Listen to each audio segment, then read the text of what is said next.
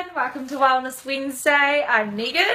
Um, what I'm doing today is bringing you guys a health and wellness tip for the week.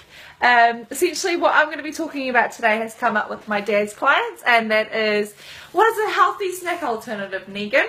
So, you might have seen my video before about the comparison between a Quest bar and a Weight Watchers bar, but today what I'm going to be talking about is purely the Bar. So I'm a trainer at um, Results Fitness and what I do is basically help people achieve their health and fitness goals by giving them a tip that will help them with nutrition and exercise. So today's tip's about um, a Quest bar as a snack alternative that we can have. Um, Reason being is the Quest bars have so many benefits and are pretty good for us, you know, instead of a bar of chocolate. So, essentially the Quest bar looks like this. We sell them at our counter as well, so if you want to taste them, dude, they're so good. There's so many different flavours.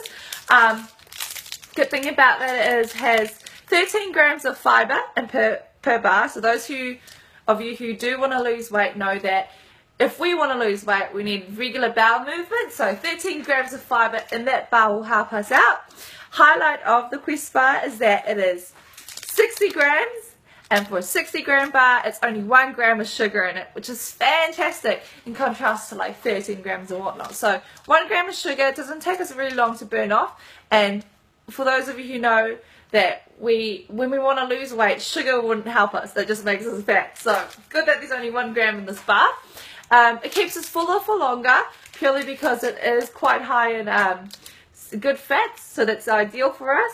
And also um, a lot of protein. So 20 grams of protein in a Quest bar, which means muscle recovery, and also what we don't use in terms of protein is excreted out of our system, so it doesn't store. So, healthy snack alternative is a Quest bar. If you found this video um, what do you call it, beneficial and did help you, share it because sharing is caring and that's what we do at Results Fitness. Thanks guys, have a good, happy, um, hope you had a good Easter weekend. See yous!